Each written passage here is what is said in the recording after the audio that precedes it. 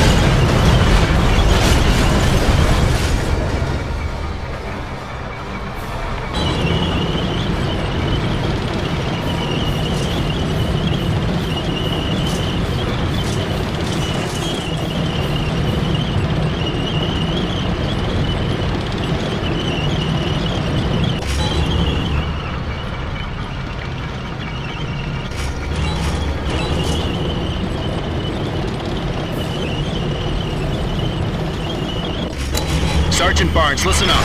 Those tanks are sitting ducks from the air. But you must engage the enemy and hold that line until our bombers reach your position. ETA is two minutes. Give them hell, son. Out.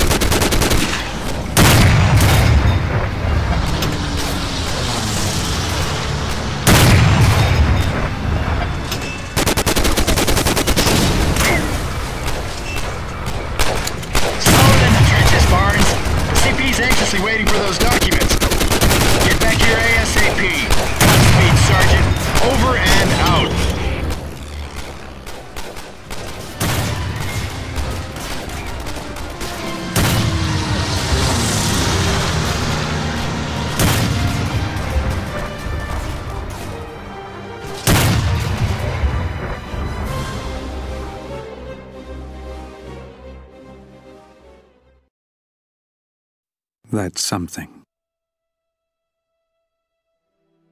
It's funny. how one can lie and remember things of days gone by, and in perhaps one short minute recapture a past year and all that's in it. Everyone stores up things that have passed. Some have forgotten, others will last. But a soldier who has been to war has in life's memory book something more. Something that can only be in the memories of men like you and me. Something that is born amidst shot and shell, develops and grows in times of hell. This comradeship, as it is known by us, of which we never make much fuss, is this something which in our minds was set in lands where many are lying yet? And so I remember from the start the friends I knew, now far apart. My soldiering is done, and I leave it behind. But that something comes with me in my mind.